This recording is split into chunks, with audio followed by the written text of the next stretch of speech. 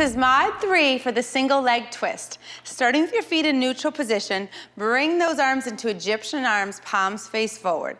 Transfer your weight into that left foot, lift that right knee up, hip height or maybe even a little bit higher. You're gonna rotate towards that lifted leg. Find full rotation to the spine, the hips stay pointing forward, and then come back to center. So as you rotate, try not to let that standing knee come inwards.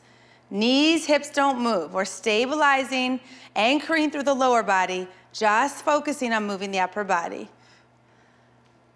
When you come out, place the right foot onto the floor, change, and make sure you do the second side.